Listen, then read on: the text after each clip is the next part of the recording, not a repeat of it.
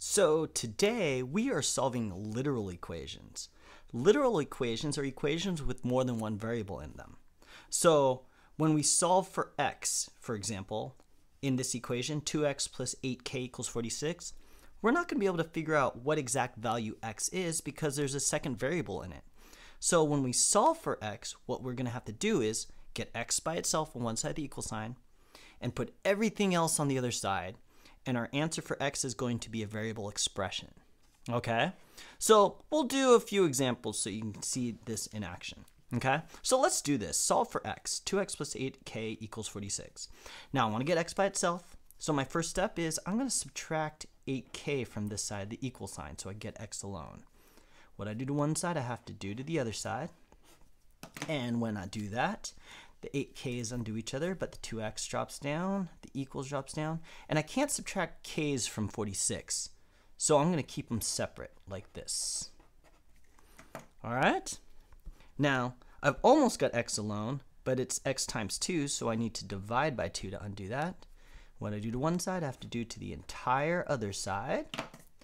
So the 2's undo each other, but the x drops down, the equals drops down, and notice, got x by itself. On the other side, divide everything by 2. 46 divided by 2 is 23. And minus 8k divided by 2 is 4k. And guess what? We just solved for x. This whole thing over here is what x equals. 23 minus 4k. So like what I said before, we're not going to get a single value for x. We're going to get a variable expression because we have another variable that we don't know the value of. Okay? Let's see a slightly harder one here, for example, 2 here.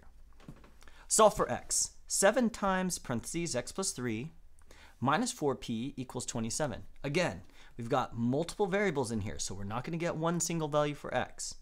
Now, there's lots of ways to solve this. I'm just going to start by doing the distributive property. I got a lot going on in here. I just want to simplify this thing down. 7 times x is 7x, plus 7 times 3 is 21 drop down my minus 4p, drop down my equals 27. Okay, that makes things a little easier. Now I want to get x by itself, so we need to undo these things. I'm going to start by adding 4p to both sides. Okay, those undo each other. 7x plus 21 drops down. The equals drops down, and I can't combine p's with regular numbers, so I'll keep them separate. I've almost got x by itself, but I do need to undo that plus 21, so I'm going to minus 21 from both sides. And notice, when I minus 21 from the right side, I put it under the 27, because I can subtract 21 from 27. Okay?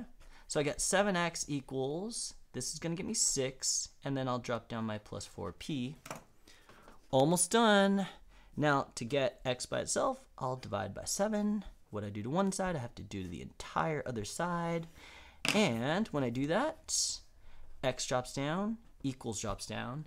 And notice, I can't really do 6 divided by 7, and I can't do 4 divided by 7.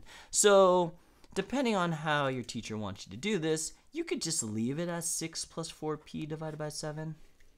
Or, if your teacher really wants you to divide each of those terms by 7, you could say 6 divided by 7 is 6 sevenths plus 4p divided by 7 is 4 sevenths p. I don't know that one is more simplified than the other. I personally don't mind this. But if you really want to write it that way, you can. They're equivalent. It's just which one is more simplified? It depends on your preference. All right, but notice again, we had to get x by itself. We simplified our side, got everything to the right side, and x alone on the left side. And Either one of these would be fine for your answer for x. All right? We'll do one more example that's not quite as hard, but a little more confusing. Solve for x. y equals mx plus b, the old standard linear equation. Notice, there are absolutely no numbers in this equation. But it doesn't matter, because we're just going to use algebra to get x by itself. Okay? So if I want x by itself, First thing I need to do is undo the plus b, so I'm going to subtract b from both sides.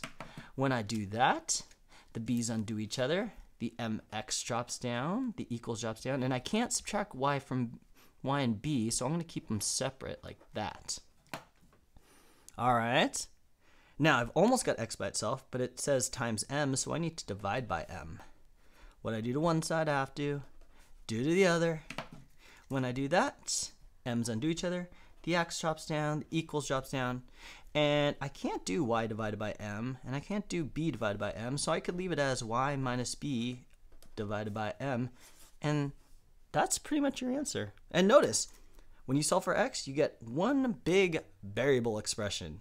And that's okay because all we're doing is rearranging things to get x by itself to see what it would equal. All right? So that's solving literal equations. You're basically just using your algebra skills to get to solve an algebra equation and get x by itself on one side of the equal sign. All right? This is why showing your steps in algebra is so important because your final answer is basically your algebra steps all simplified. Okay? So work carefully, go one step at a time, and show each step.